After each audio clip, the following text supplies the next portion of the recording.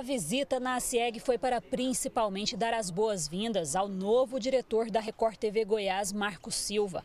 Na visita à sede da associação, Marcos falou sobre os avanços que a emissora vem dando, principalmente na qualidade do que é levado ao telespectador. A Record tem procurado, ao longo desse ano, é, criar uma cadeia de avanços né, para que a gente possa levar benefícios ao nosso telespectador, dando mais dinamismo ao nosso jornalismo, aumentando ainda mais a nossa grade de conteúdos, tudo em benefício do nosso telespectador. A CIEG é uma associação comercial e industrial que nasceu em 1937 e tem extrema importância para o cenário econômico do Estado.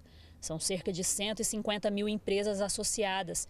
A parceria da ACIEG com a Record TV vem para contribuir com o crescimento do trabalho que já é desenvolvido ali. Quando é, se estabelece uma parceria com um veículo tão importante como a Record, é, essas lutas que a CIEG empreende, elas são amplificadas, elas são ampliadas e a gente consegue ter mais força, inclusive, no diálogo com as autoridades públicas, com governos estaduais, municipais, na luta pela redução de impostos, na luta pelo desenvolvimento econômico, na, na luta pelo crescimento econômico da nossa cidade e do nosso estado. E na reunião, o diretor da Record TV diz que em breve teremos surpresas em nossa programação. Nós estamos aí com uma estreia muito muito próxima, um programa que está sendo formatado exatamente para este setor, que em breve vai estar sendo divulgado na telinha da Record e com certeza vai cair no gosto do público.